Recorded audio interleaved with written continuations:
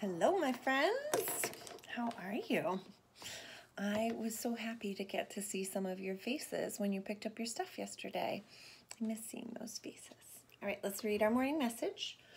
Good morning, K-Stars. Today is Tuesday, June 2nd, 2020. I have a new game for you. Hmm, new word game. So let's cross off date on the calendar. Now, Haley, I notice that your birthday is now exactly two weeks away. And I know you've been counting down, so now you know it's two weeks. I know because each time you jump down a box on the calendar, that's one week. So we jump down one, two weeks. Two weeks away. All right, so you guys ready to see the new game I have? It is a word game using CVC words, and it's actually kind of fancy.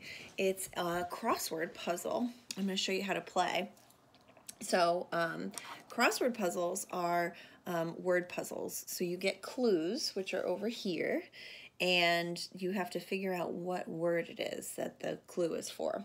And then that word is going to fit into the boxes. So one letter for each box.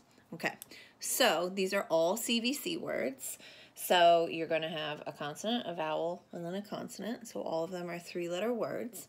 And I'm going to read you the clues, and then I'm going to let you guys do it by yourselves. Okay, so the first clue is for number one going across.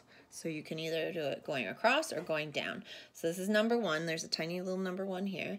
And the clue is when you poke a balloon with a pin, it goes.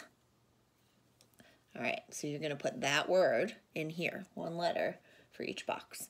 Then the next clue is for one down.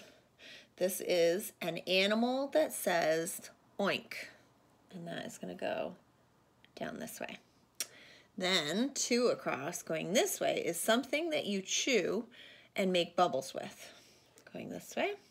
Number three down, going this way, is when dirt gets wet, it turns into... And then four across is something you put on top of a lowercase i and a lowercase j.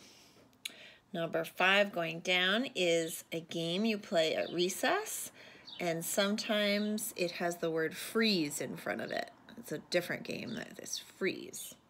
And then the last one is six across and the clue is in the classroom, we sit on this for morning meeting, going this way. Okay, so you've got your challenge for this morning. Um, so I have attached the paper to the morning email. Um, you could also just draw it out. Um, you just have to make sure that you attach the boxes the way that I did.